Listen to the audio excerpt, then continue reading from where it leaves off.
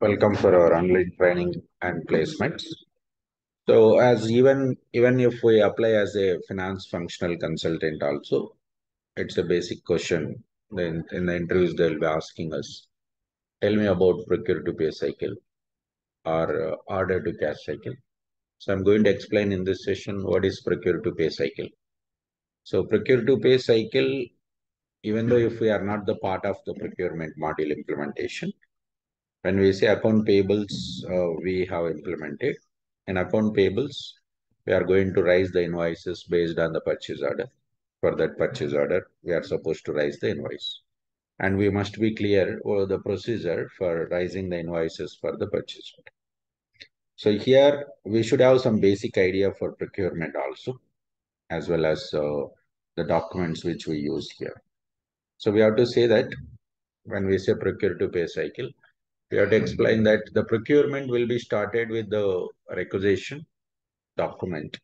Requisition document is prepared by an employee who is uh, required some goods or services from the supplier. Once the requisition document is approved by the organization or management, then we'll create RFQ, request for quotation. We'll send this RFQ to suppliers and we'll be receiving the quotations from the different suppliers and then the organization will do the quote analysis which quotation is better and they'll make it as a purchase order. Purchase order is basically a legal document. So purchase order will be created and we'll send this purchase order to the supplier. As per the purchase order terms and conditions supplier will supply the goods to our uh, organization either goods or service. According to the receipt then we'll go for raise the invoice. The invoice is a document which we'll receive from the supplier while creating an invoice, we are going to specify the invoice information like supplier, supplier side.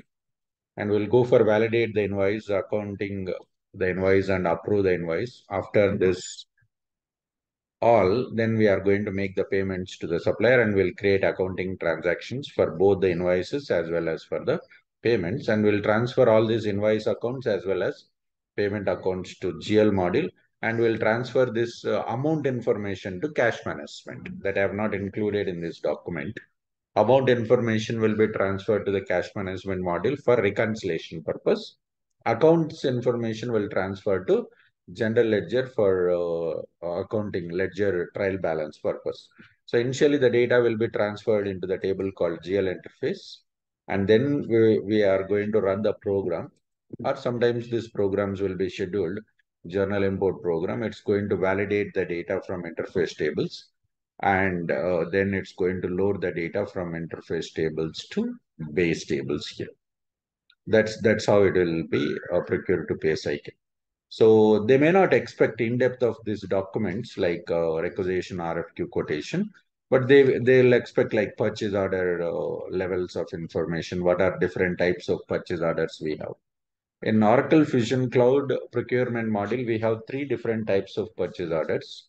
Standard purchase order, blanket purchase agreement, contract purchase agreement, BPA, CPA. Okay, so the purchase order information will be entered at four levels, headers, lines, shipments, and distributions. Okay, these code combinations will be entered at the distribution level.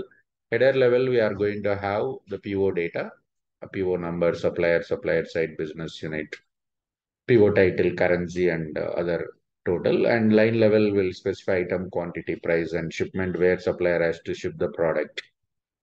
And distributions, we are going to have account code combinations that. For this PO, we'll go for raise the invoice. So that identifying the purchase order as per the PO we are going to raise. And uh, while creating the purchase order, there is a concept called uh, two-way matching, three-way matching. So two-way matching is nothing but comparing the two documents. I think it's not there in this. No problem. It's very simple. Two-way, three-way, and four-way match. There are three types of match approvals we have. Two-way matching, three-way matching, four-way matching. So two-way matching is nothing but comparing the purchase order and uh, invoice. What we will compare, we will compare the quantity and the amount. These two things we are going to compare. Whatever we ordered in the purchase order, whatever the amount we have in PO that we are supposed to make the payment. So the invoice will be raised based on the ordered quantity. Invoice will be raised based on the ordered quantity.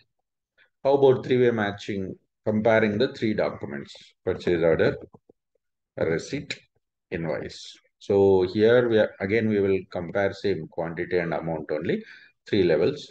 So whatever the items we have received, for that we are going to raise the quantity. For the received quantity, we are going to raise the invoice. Let's say we ordered 100 items. In two-way matching, you must raise the invoice for 100. In three-way matching, for example, we raised the order 100 items, but we received 80 items. So we'll raise the invoice for 80 items. Four-way matching means comparing the four documents. Purchase order, receipt. Receipt means count, counting. Inspection, then we'll go with the invoice. Here I also again same information will be compared. Here accepted quantity. Here accepted quantity. So we ordered 100 items, for example. Let's say we ordered 100 laptops. We received 80, 80 laptops from the supplier. Out of that 80, uh, 70 items has got good quality. We accepted. 10 items we returned. So here we are going to raise the invoice for 70 items, whatever we have accepted. Whatever the items we have accepted, that, that we are going to mention here accepted quantity, we are going to raise the invoice. So these are the matching approvals we'll be specifying at the time of creating the purchase order. So as a finance consultant, we should be clear about this concept, two-way, three-way and four-way. Uh, while creating the PO, according to that invoice will be raised in account uh, payables modules. Okay. So that's the cycle information we should be very clear. Then after that, they'll go for in-depth of uh, AP module invoice, invoice types.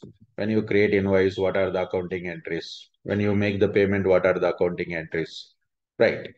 For credit memo, what are the accounting entries? For prepayment invoice, what are the accounting entries? When I am creating a prepayment invoice, from where the account combination will be derived. For example, if I want to do the bills payables, bills payables is nothing but uh, future dated payments. From where we are supposed to do that like from manage invoice uh, options, invoice payable, uh, common options for payables and procurement, right? So from there we are going to do that. Where that's optional actually, bills payable account. So if the organizations wants to do that, we are supposed to set that code combination over there. From there, it will derive the moment when we do that particular transactions. Okay. So this is how we are supposed to explain the answer in the procure to pay cycle we don't need to go for again procurement setups because that's not our uh, job. But if at all we want to know, obviously it's the same setups, common options for payables and procurement, uh, procurement business unit function, procurement uh, requisitioning BU function, and buyer will be there. Buyer supplier is common, buyer is common, and will be able to raise the purchase orders. And what is the role for creating the purchase order?